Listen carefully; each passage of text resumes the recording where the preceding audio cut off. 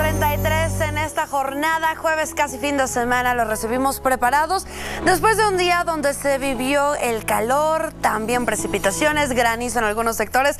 Es bien importante que siga saliendo listo de casa, sobre todo con lo que sucede durante estas siguientes 24 a 48 horas. Factores comunes durante esta época del año generando precipitaciones, ondas tropicales, ingresa la humedad para puntos del centro, oriente, también occidente, noroeste del país desde el Golfo de México y también desde el Pacífico. Así que esto continúa para las siguientes horas. A tenerlo en consideración, tenemos 16 grados como promedio para esta noche, 19 en este momento, pero todavía se espera llegue el descenso en la temperatura. La lluvia es de manera ocasional todavía durante esta noche y así le damos ya la bienvenida a este viernes. 14 grados tempranito, mayormente nublado, 60% de probabilidad de lluvia durante la tarde con 23 grados como máxima. Ya lo sabe, este porcentaje es importante todavía. 60 hasta 40% predominando de manera vespertina porque hablamos de territorialidad. En algunos sectores lluvia fuerte, en lapsos puede ser corta, pero sí importante. El resto del fin de semana 50%, 22 hasta 24 grados. Van aumentando las temperaturas y el descenso en el porcentaje de la lluvia hasta en un 30%.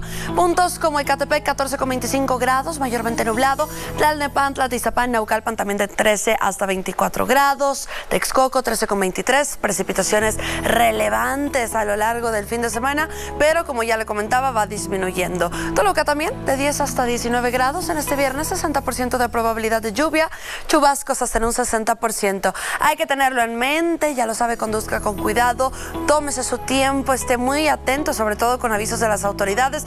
Hay que mantener la vía pública limpia para evitar encharcamientos e inundaciones. Vámonos ahora con la fase lunar. Actualmente disfrutamos de una luna llena hasta este sábado, última fase lunar de este mes de julio. Le damos ya la bienvenida a una luna menguante.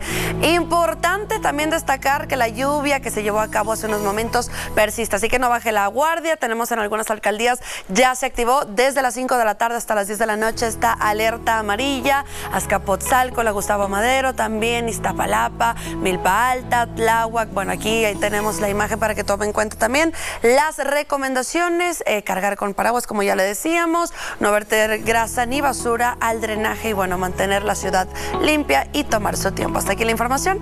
Pase excelente jueves, lo veo el día de mañana con mucho más aquí en Telediario.